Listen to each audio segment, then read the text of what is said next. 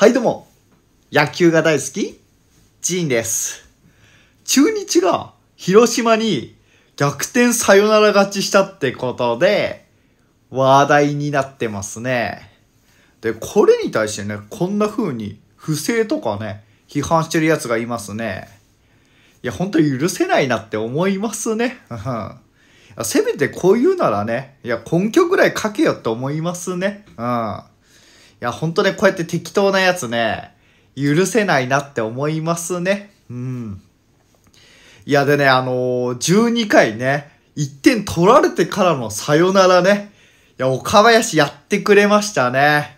いや、ほんと素晴らしいなと思いましたね。うん。いや、でね、こうやってね、批判してるやつはね、もしかしたらそのカープを応援してたのかもしんないけど、やっぱ結果はね、結果としてね、うん、受け入れるべきだなっていうふうに思います。いや、ほんと許せないなって思いますね。うん。